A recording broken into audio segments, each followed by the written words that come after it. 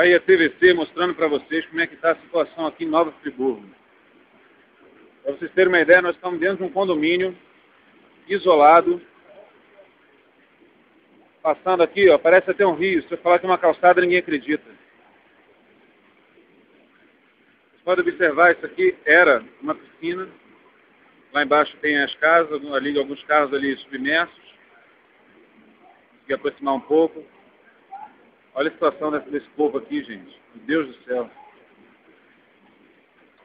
Aqui dentro é onde os moradores aqui desse condomínio fizeram aqui um, um local aqui para poder fazer comida, eles se abrigarem. Vocês podem observar ali na porta, passando tudo com muita velocidade.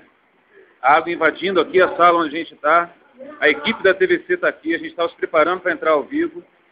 Não conseguimos por conta da chuva, por conta dessa enxurrada que tem descido aqui. Ali está o nosso repórter ali, o Mauro. Olha, só vocês vendo, a situação está crítica, está difícil. A gente começa a ficar nervoso, começa a ficar ansioso, porque não sabe o que pode acontecer. Essa é a TVC mostrando para vocês aí.